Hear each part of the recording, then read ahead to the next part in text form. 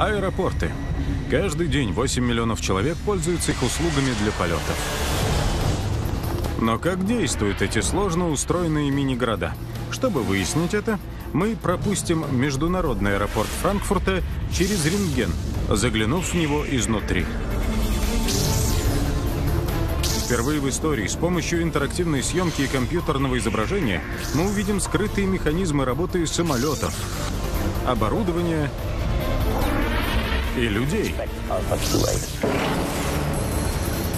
То, что мы видим в качестве пассажиров, лишь вершина айсберга. Аэропорт изнутри. Мы шаг за шагом понаблюдаем, как важна каждая секунда. Мы покажем прекрасно отстроенную систему, которая подготавливает самолет к полету всего лишь за полтора часа. Надеюсь, пассажиры появятся. Как быстрота решений позволяет тяжелому пассажирскому лайнеру преодолеть гравитацию. Если что-то не так, решать нужно за доли секунды. И как тысячам животных пассажиров ежедневно успевать на свой рейс. Дикая. Эти люди принимают решения, а значит, огромный аэропорт выигрывает гонку на время. Гонка на время. Для некоторых из нас полеты столь привычны, что мы забываем, что перевозка по воздуху сотен людей – одно из величайших изобретений человека. 13.30. Экипаж приготовится к взлету. Взлетная полоса аэропорта Франкфурта. Пассажиры и экипаж рейса LH-760 пристегнули ремни.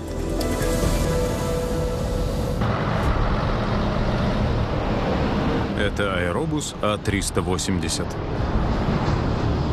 Самый большой в мире пассажирский самолет. Он на 40% тяжелее гигантского Боинга и длиннее расстояния первого полета братьев Райт.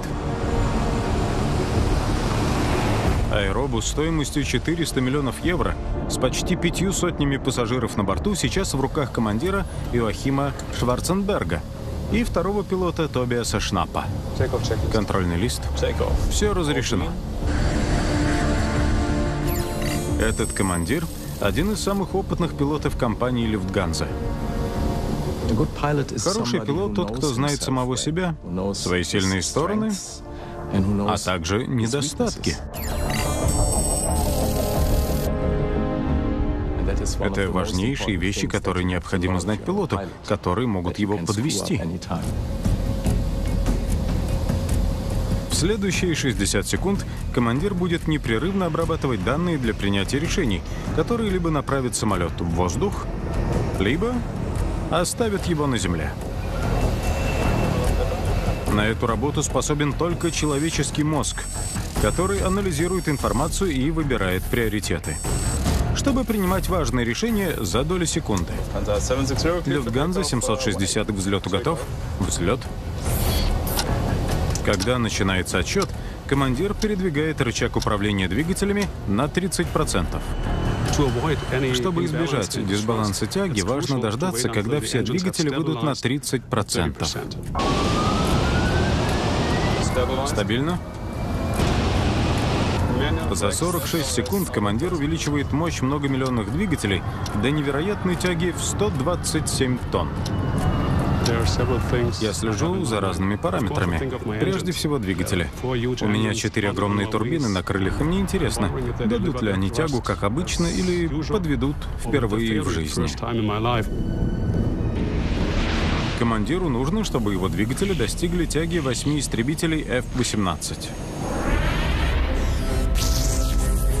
Внутри каждого мотора 24 титановые лопатки разрезают воздух, наращивая громадную силу для начала полета. Для отрыва необходимо набрать по меньшей мере 2900 оборотов в минуту. Лопасти движутся быстрее скорости звука. К взлету готов? После выхода двигателей на максимальную тягу я переключаюсь на то, чтобы придерживаться осевой линии полосы. Это момент наибольшей концентрации внимания. Пилота может остановить лишь отказ двигателя, потеря управляемости самолета и, конечно же, приказ диспетчера отменить взлет из-за помех на полосе. За 20 секунд до взлета самолет набирает 185 км в час. 100 узлов? Есть. Момент принятия самого важного решения. В1 также известный как точка невозврата. Если командир решает пройти эту точку, аэробусу придется взлететь, даже если откажет двигатель. В противном случае ему не хватит полосы, чтобы безопасно остановить самолет. Прохождение этой точки постоянно отрабатывается на полетном тренажере. Если что-то не так, решать нужно за доли секунды. Мы тренируем наших пилотов для принятия решения на уровне рефлекса. 35 лет летной практики командира заставляют его мозг действовать с оптимальной эффективностью. Он делал это так много раз, что использует меньше ресурсов, нежели начинающий пилот, и принимает мгновенные решения. Я не думаю, просто вижу, чувствую и реагирую.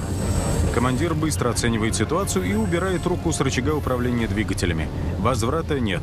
И он переключает внимание на крылья. Воздух, обтекающий изогнутую поверхность крыла сверху, движется быстрее потока под крылом. С ростом скорости давление сверху снижается, а его возрастание снизу дает подъемную силу. При определенной скорости, когда я поднимаю нос самолета, увеличиваю угол атаки, у меня будет достаточно тяги, чтобы оторвать лайнер от земли. Подъем обеспечивается так называемым пограничным слоем. Молекулы воздуха, касающиеся крыла, замедляются трением. Вокруг крыла образуется оболочка из медленно текущего вязкого воздуха в 5 сантиметров толщиной, которая поддерживает контакт крыла с движущимся потоком и необходимую разность давлений для создания подъема.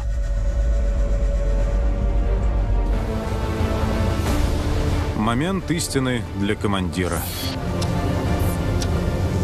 Отрыв. Взлетная скорость 280 км в час.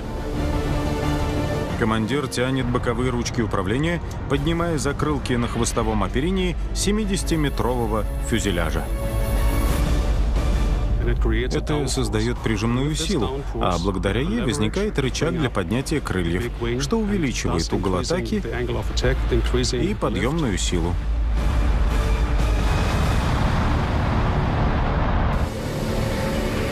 Самый большой пассажирский самолет поднимается в небо.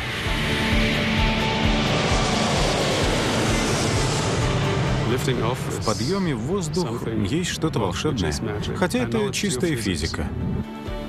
За 35 лет я проделывал это много раз, но все еще удивляюсь. Это чудо, преодоление гравитации, тем более для такого гиганта, как А-380. Набор высоты и скорости есть.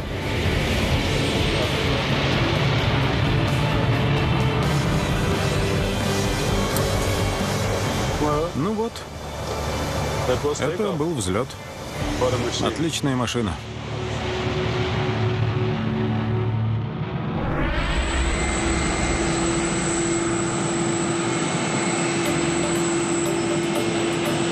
Один лайнер улетает, другой прилетает.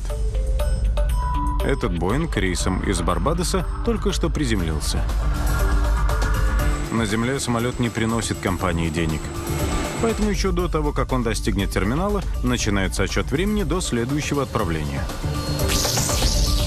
Чтобы не потерять бесценные минуты оборота судна, лазеры сканируют самолет и направляют его с точностью до 10 сантиметров к парковочному месту. Это как парковка на обычной машине с точностью до миллиметра. Если вы пассажир, на этом ваш интерес к самолету обычно заканчивается. Но для Али Тамима все только начинается. Самолет прибыл, можно начинать. У Али одна из самых напряженных по времени аэродромных профессий. Он — агент по обслуживанию, руководитель оборотного цикла. 24 работника и 8 машин за полтора часа чистят самолет, пополняют его запасы и заправляют топливом для обратного рейса. Мне нравится стресс. Моя работа — это стресс и решение проблем.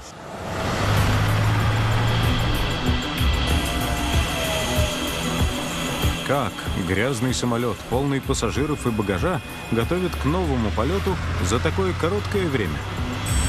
Прежде всего, нужен план. Комплексная карта действий и времени. Каждый этап должен выполняться по порядку за определенное время в нужном месте. Агент по обслуживанию отслеживает все этапы. Он должен занять идеальное положение, чтобы видеть весь самолет. Всего полтора часа и первая задача — наземное питание. Двигатели отключены, но кабели наполняют энергией необходимой системы. Мы подключаем питание и выгружаем из отсеков прибывший груз и багаж. Затем к делу подключаются грузчики. Им нужно открыть грузовой люк за две минуты после прибытия, чтобы начать выгрузку. На счету каждая секунда. Самое главное для меня в этот момент багаж. У нас 20 минут от разгрузки до перевозки багажа на выдачу. Это очень важно. Пассажиры с транзитных рейсов не могут долго ждать. Али уже может направлять багаж, но пассажиры пока что никуда не двигаются. Их необходимо выпустить, чтобы действовать в соответствии с графиком. Аэропорт изнутри.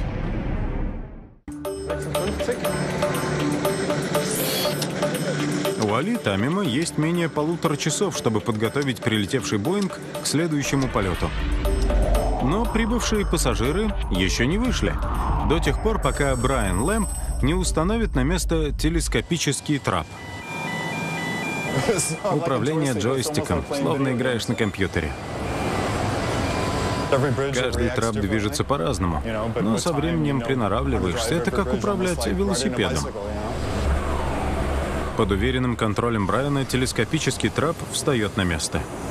Осталось 84 минуты, и 180 пассажиров начинают выходить.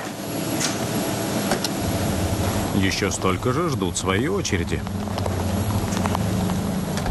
Взглянув на площадку за самолетом, мы увидим, что происходит, прежде чем другие пассажиры взойдут на борт. Работа Али в самом разгаре.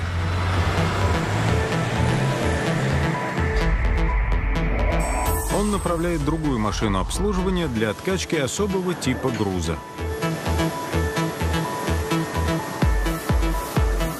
За девять с половиной часов полета пассажиры Боинга могут тысячи раз посетить туалетные кабинки, оставив более полутонны отходов в качестве сувенира. Откачка избавит от них за 10 минут. Осталось 78 минут. Согласно графику, Али пора запускать бригады пополнения запасов и уборки. 13 работников готовы действовать, но они не взойдут на борт, пока его не покинет последний пассажир. Проблема в том, что некоторые пассажиры медленно выходят из самолета. Это не очень хорошо. Тогда мы задерживаемся. Пассажиру отняли пять лишних ценных минут. Как только все вышли, уборщики и поставщики могут приступать. Остается 73 минуты, и поставщики питания берутся за дело. Они привезли почти 400 комплектов обедов. С другой стороны самолета 10 уборщиков готовятся начать работу. Это необычная группа обслуги. Их действия и сам порядок этих действий четко распланированы для максимальной эффективности. Мы можем проследить за ними. Сначала они собирают весь мусор, вытирают столики и в завершении пылесосят пол. Им нужно очистить 245 мест всего лишь за 20 минут. Это меньше 5 секунд на место.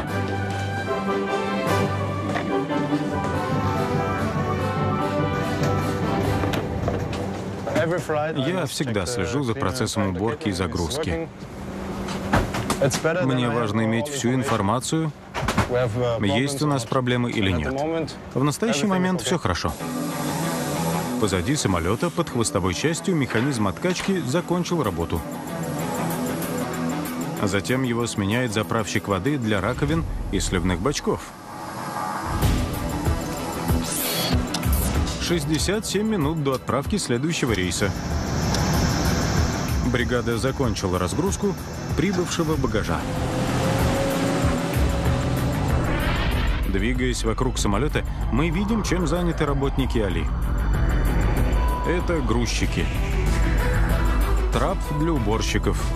Заправщик воды и питание. Это выглядит просто, но нужно держать все в голове. Все ли работники задействованы? За 45 минут до вылета подъезжает заправщик. Количество топлива зависит от числа пассажиров, веса багажа и прогноза погоды. Никто не знает его точного объема до самого конца. Но необходимо начинать сейчас. Наполнение отсеков займет не менее 28 минут.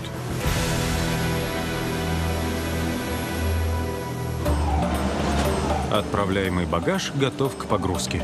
Но его не просто забрасывают вовнутрь.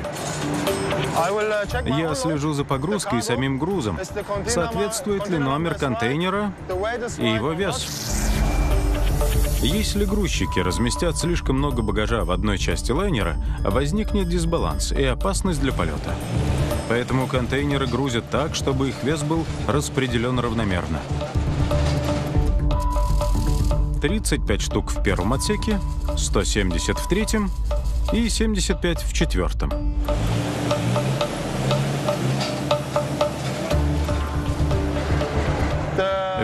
Вес совпадает. Это очень важно. 12 минут до отлета. У стойки в зале вылета идет посадка. Похоже, хлопоты Али позади.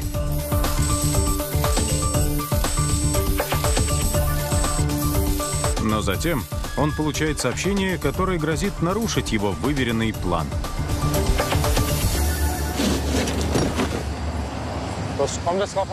Зависит от того, когда они появятся. Три места в разных контейнерах. Всего три? Да, понятно. Не знаю, сколько пассажиров, но мест три. Дело в том, что мы ждем троих пассажиров, которые опаздывают. До вылета осталось 10 минут.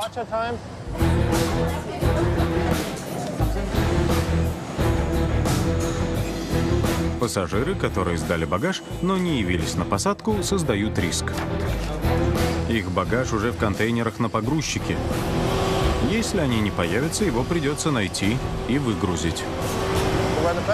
Если пассажира нет, его багаж должен остаться. Мы начинаем его искать. У Али записано, в каком контейнере чей багаж. Но в каждом из них десятки чемоданов, а нужно отыскать только три. Это гонка на время. Если самолет задержится на несколько минут, он может потерять коридор вылета. Десятки пассажиров опоздают на пересадку. Это означает тысячи долларов компенсации, а компания не может этого позволить. Для меня это небольшой стресс, но, надеюсь, пассажиры появятся. У них еще есть время. За шесть минут до отлета один опоздавший прибежал в зал вылета. Остальные двое так и не явились. Их багаж найден и выгружен. Эти все проверены? Хорошо. Али отводит технику за несколько минут до отлета. Вылет вовремя, все люки закрыты по графику. Подготовка прошла хорошо. Самолет начинает движение по расписанию.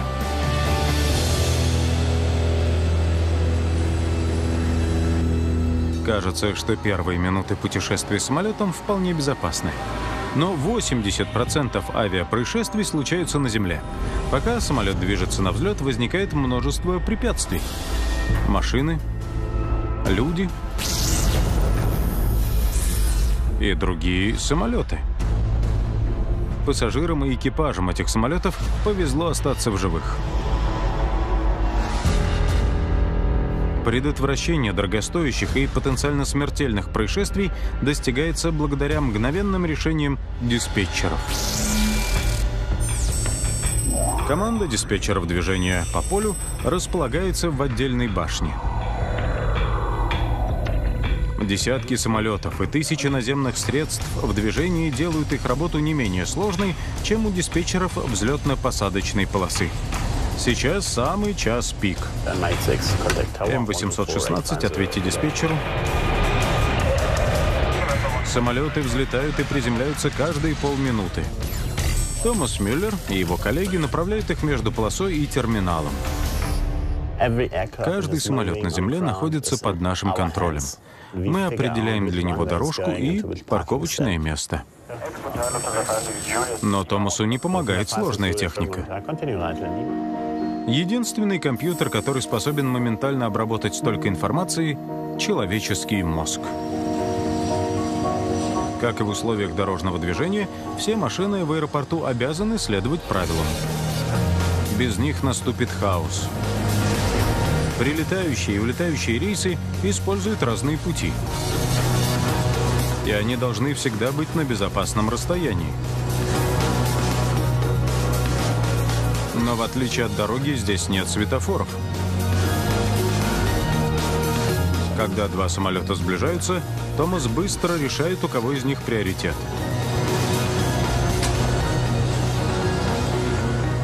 Мы отвечаем за то, чтобы каждый пассажир на Земле был в безопасности. Сейчас он управляет примерно 20 судами и проводит работу по дальнейшему планированию. Когда Томас направляет самолеты по летному полю, он также просчитывает, где они будут через 15, 30, даже 60 секунд. Я представляю себя на летном поле, я вижу его глазами пилота. И как будто наблюдаю движение сверху. Это как огромная игра в шахматы. И Томас, словно гроссмейстер, всегда думает на несколько ходов вперед. Стоянка номер пять. Продолжайте движение. Заглянем в мозг Томаса, чтобы увидеть его в работе. Зрительный центр мозга в затылочной доле напряженно трудится, обрабатывая огромное количество входящей информации. Тем временем лобная доля контролирует решение проблем и старается их предупредить. Рейс 274 можете выруливать на дорожку. Но Томас не просто планирует маршруты, он также передает их пилотам. Стоянка номер пять, начинайте подготовку. За час пилоты и диспетчеры связываются до тысячи раз. Все это добавляется к информации, которую обрабатывает мозг. Моторный центр отвечает за организацию речи, а височные доли важны для слуха. Только человеческий мозг обладает гибкостью и скоростью для такой работы. Но не каждый. Сотни решений за один час. Не все на это способны. После обучения около 30% стажеров отсеиваются. Для этого нужно родиться. Лучшие диспетчеры аэропорта Франкфурта ежегодно направляют почти 250 тысяч самолетов, которые перевозят миллионы пассажиров. Но вы удивитесь, узнав, что половина пассажиров, проходящих через аэропорт, не являются гражданами какой-либо страны. Они не имеют права на бонусные мили. На самом деле, они даже не люди. Аэропорт изнутри.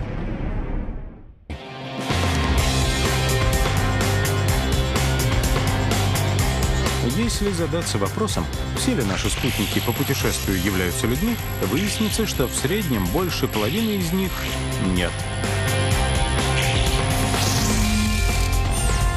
Огромное количество пассажиров размещается в здании, в которое редко заглядывают посторонние.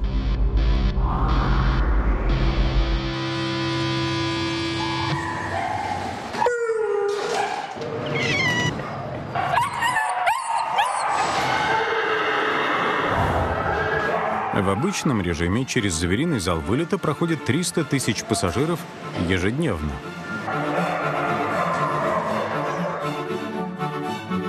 Как работникам аэропорта удается своевременно готовить к отправке тысячи животных? Мы проверяем всех собак, которых привозят заранее. Нужно вовремя подготовить их к погрузке в самолет. Все зависит от природного чутья таких специалистов, как Паскаль Лалек. Он отвечает за то, чтобы эти пассажиры были здоровыми и пунктуальными. Я встаю в 4 часа утра и очень люблю свою работу. Хотя никогда не знаю, что меня ждет. Сегодня сумасшедший день. Каждый день разные животные. На своей работе он видит много обычных животных и экзотичных.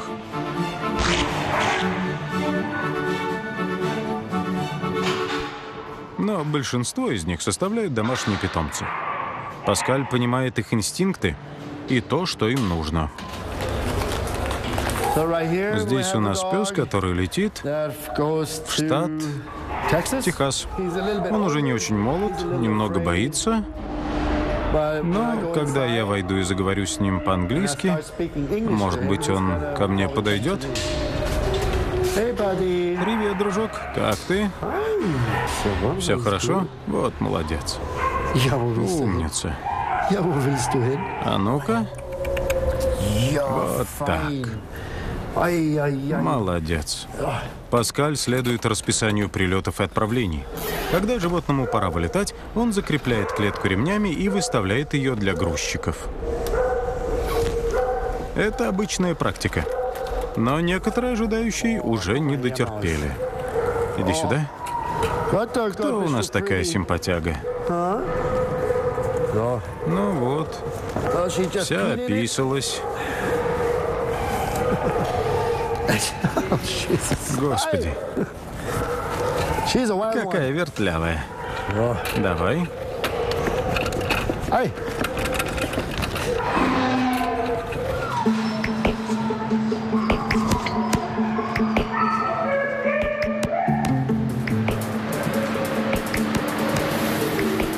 еще больше животных поступает в коробках, а не в клетках. Большинство из них — рыбы. Миллионы рыб. Их привозят из далекой Индонезии и из США. Всем им требуется особое обращение. Томас Клапих — штатный специалист по общению с рыбами. Я люблю работать с животными. Отдаю им всю свою душу. Я и дома разговариваю с рыбками. Первая забота Томаса после прибытия груза — удостовериться, в хорошем ли состоянии рыбы.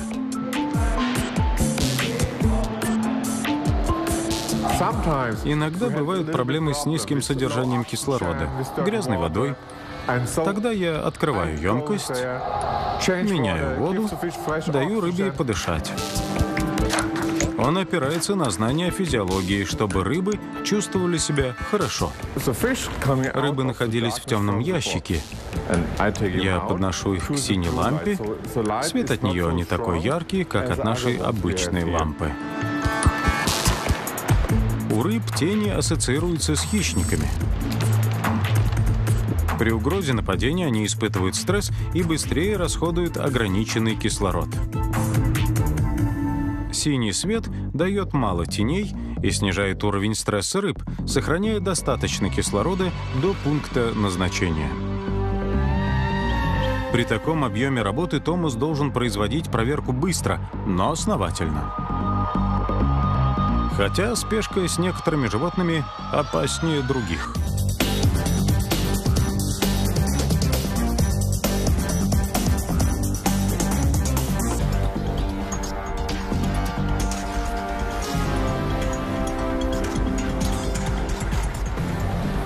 Я с уважением отношусь к таким животным и работаю с ними очень осторожно. Иногда змеи выползают. Коробки открываются очень легко, и если змея достаточно сильная, можно ее нечаянно выпустить. Здесь животные со всего света. Скаковые лошади из США — экзотические создания для зоомагазинов Европы. Всех нужно подготовить за минимально короткое время. Это вид груза, но нам нужно заботиться о нем. Это не фурнитура или запчасти для машин, это животные. Многие люди относятся к ним как к лучшим друзьям.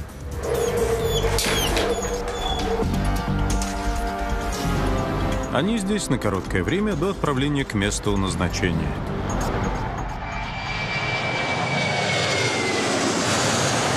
При таком количестве пассажиров, животных и людей, вылеты из аэропорта, подготовка и перемещение создают постоянное движение. 45 самолетов могут двигаться одновременно. При такой загруженности на поддержание поля в идеальном состоянии остается мало времени. Во Франкфурте это делается под покровом ночи в сжатые сроки. 22 часа. Части аэропорта закрываются на время запрета на полеты.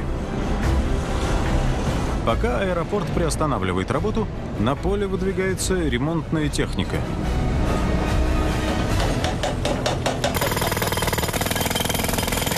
Четыре мощных отбойщика разбивают покрытие площадки размером в два теннисных корта. Руководитель работ Тобиас Лейнс понимает, что времени мало. Мы работаем очень интенсивно. В 6 утра на поле выйдет первый самолет.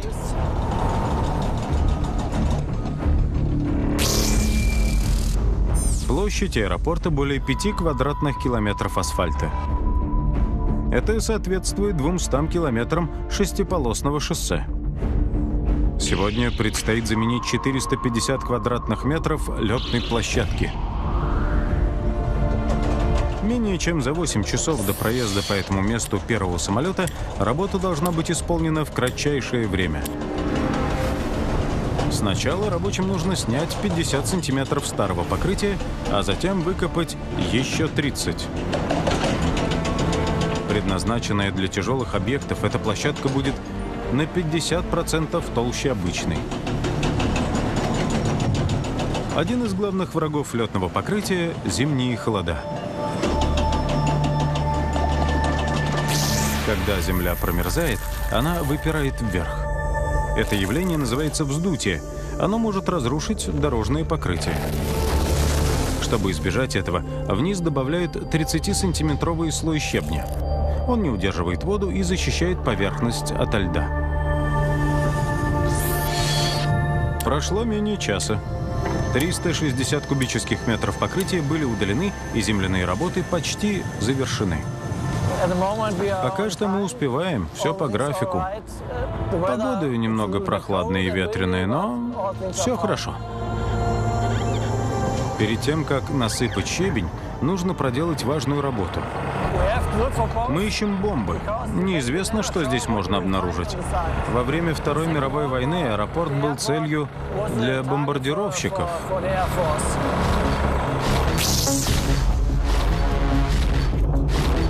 Во время войны на Франкфурт было сброшено более двух тысяч бомб. Но не все они разорвались. Рабочие нашли одну такую три года назад. Если сегодня что-то обнаружат, все надежды закончить к утру разлетятся в клочья. Аэропорт изнутри. 23 часа. Рабочие раскопали площадку и проверяют ее на неразорвавшиеся снаряды времен войны. В распоряжении бригады менее 7 часов, чтобы уложить 450 квадратных метров покрытия до начала движения. К счастью для них, здесь ничего нет. Работа возобновляется. Теперь они насыпают 340 тонн щебня для создания 30-сантиметрового основания. Этот щебень будет защитой от морозов. Это переработанный материал. Несколько дней назад он сам был дорогой. Перед тем, как положить асфальт, рабочие должны быть уверены, что щебень лежит ровно. Но они полагаются не только на умение бульдозериста.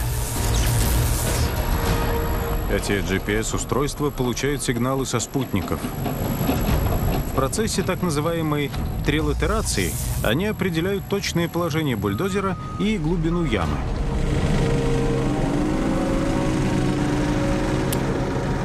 Осталось 6 часов. Пора начинать класть асфальт, чтобы он успел к утру затвердеть для прохода самолетов. Общая глубина асфальтового покрытия 50 сантиметров. Но у рабочих есть один секрет – Тепловые камеры показывают, как в аэропорту для экономии времени химически изменяют расплавленный асфальт. Его температура на 30 градусов ниже температуры того состава, что используют для обычных дорог, а значит, он охладится и застынет на 50% быстрее.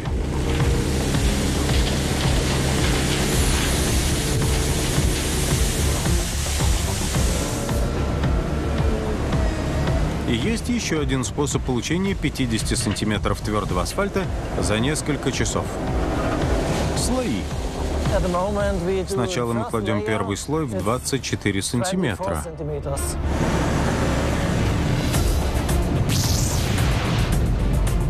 Толстый слой асфальта остывает дольше тонкого, потому что при той же площади поверхности у него больше объем. Поэтому укладка асфальта тремя тонкими слоями дает более быстрое остывание. Осталось 5 часов, и рабочие кладут второй слой. Часом позже третий и последний слой. Когда он остынет, в дело вступают катки.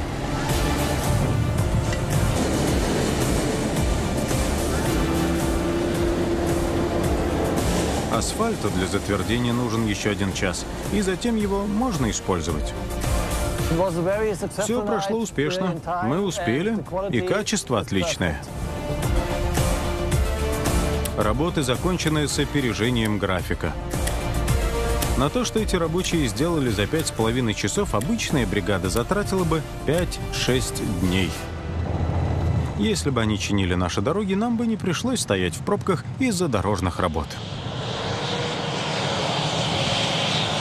Ночь сменяется днем, самолеты вновь начинают летать, и тысячи пассажиров отправляются в путешествие. 6 часов утра.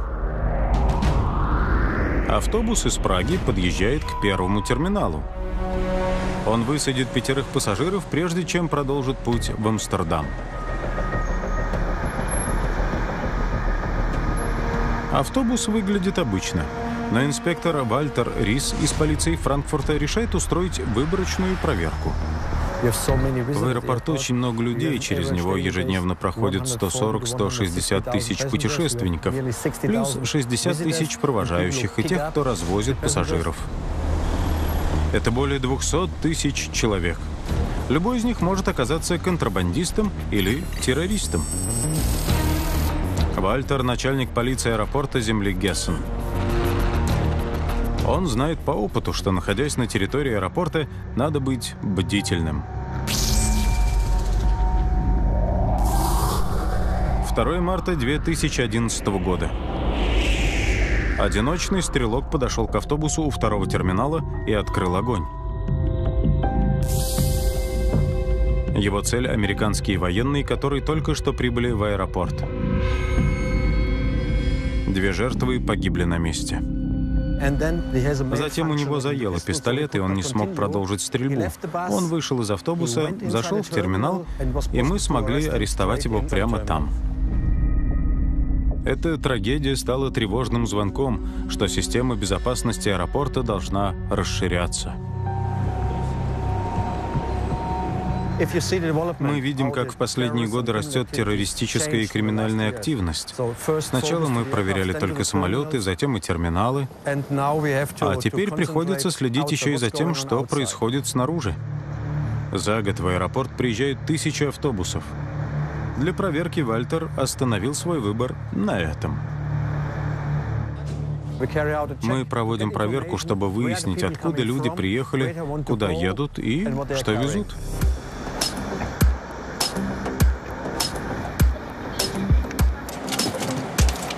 Мы выгружаем багаж, чтобы посмотреть, что внутри. Собаки-ищейки начинают свою работу. Группа Вальтера проверяет автобус из Праги на предмет чего-либо подозрительного. Когда собака садится, это плохо, недобрый знак. Возможно, наркотики.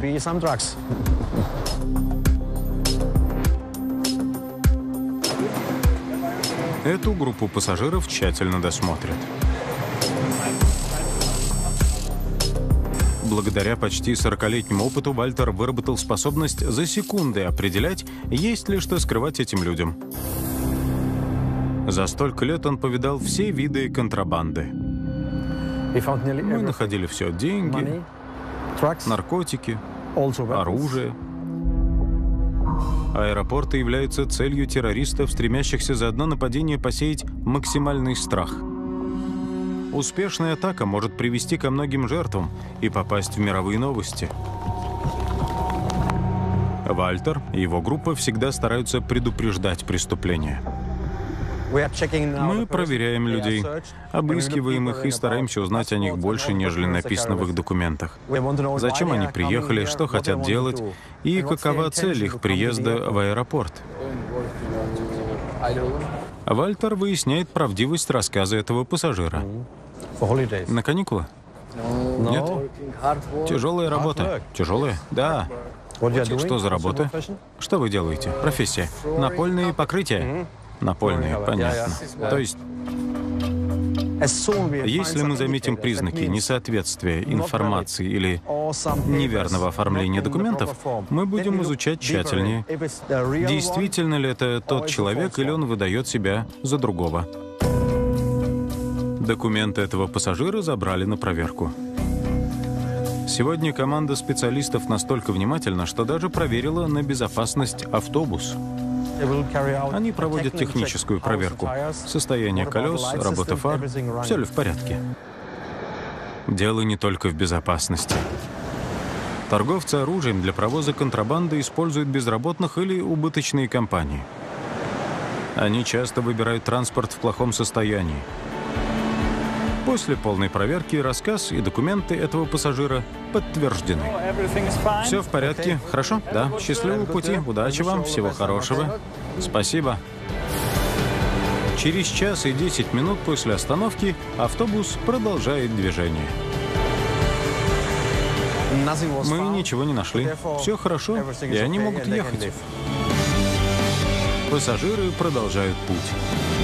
На летном поле агент по обслуживанию готовит самолет. Диспетчер направляет его на взлетную полосу, а пилот поднимает в небо. Гонка на время в мега-аэропорте не остановится никогда. Программа озвучена на студии «Кириллица». Текст читал Александр Хорлин.